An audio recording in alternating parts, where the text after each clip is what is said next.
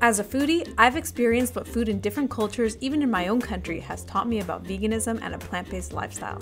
I've had the opportunity to live and travel to various countries and states around the world. These experiences have taught me how limitless the flavors can be and how vast this movement is. Now I'm on a journey to gather the stories behind some of the best vegan food and lifestyles in different cities, how it started, who's behind it, and where it's going, all with the hopes of expressing of how life can be lived. Just like different nutrients are found in the various colors of our food, there are different benefits from each aspect of our lives. My name is Eunice, and I'm inviting you to join me on my travels and plant based journey because life should be lived in color.